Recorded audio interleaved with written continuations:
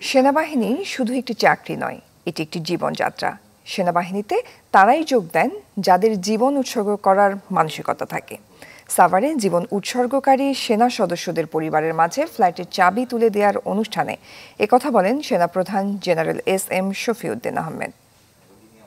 সেনাবাহিনীতে আমরা যখন যোগদান করি, আমরা উৎসর্গ, জীবন উৎসর্গ করার মানসিকতা নিয়ে যোগদান করি। যারা দেশের জন্য আমাদের অর্গানাইজেশনের জন্য প্রাণ বিসর্গ করবে, তাদের জন্য অবশ্যই আমাদের কিছু করতে হবে।